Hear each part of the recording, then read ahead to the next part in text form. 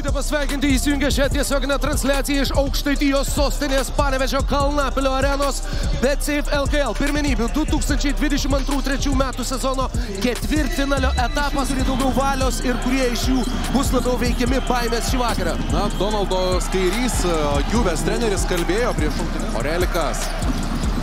Dairosi atakos tesinių. Rupštavičius. Trys taškai. Ir Johnny Davisonas tarpusavėje susitinka šiais metais, skaičiuojant tiek BCF LKL, tiek Citadelė KMT. Susitikimus čia geras perdavimas ir pakoreguos komandos veiksmus pulime ir paskatins daugiau ieškoti kelių link krepšio baudos aikštelėje ir jos prieigos. Ačiū penketukas aikštėje. Tad Želko Šakyčius, nors dabar jau ruošiasi pasirodyti aikštėje. Koks, koks čia buvo nusmeigta. Elstonas. Visiškai vienas liko po krepšių ir gali. Aštrus krepšininkas. Marijo, 2 prieš 2 su O, perdavimas!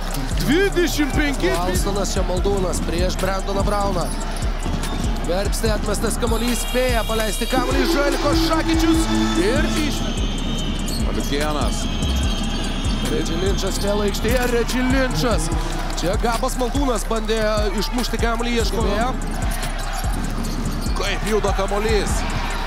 Maldūnas, dar vienas ekstra perdavimas, čia Rupštavičius.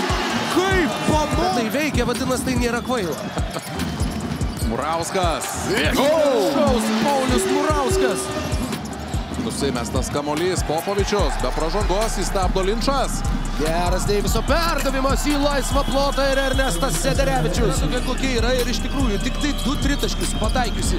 Utenos ekipa kol kas atsilieka tik 4 taškų skirtumų. Būtent Paliukienas ir... Antrą paus ledą Utenos komandoje.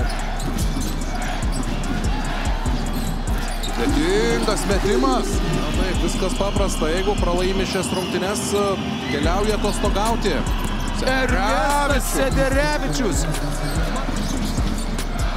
Paliukienas prižiūri Morisą, Morisas veržiasi į kairę. O, Žigolovanas.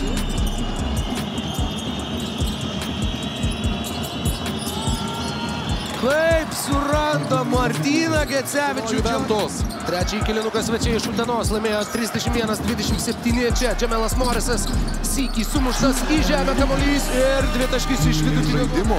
75 procentai. Pro Matulio rankas prakiša kamuolį Jordanas. Nesikrepšį nebuvo Maldūnas. Braunas. Moriso pražanga ir du taškai yra įskaityti. Dar ir nukenčia Romančenka, tačiau metas į varžovo aikštės pusę. Perdavimas Linčui, nuo lentos yra.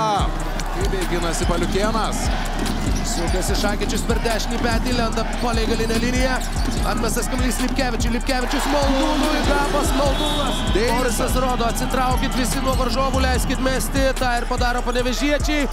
Ir septintą kartą klubo istorijoje bei septintą kartą pailiui. Panevežio 7, bet Lietkabelis.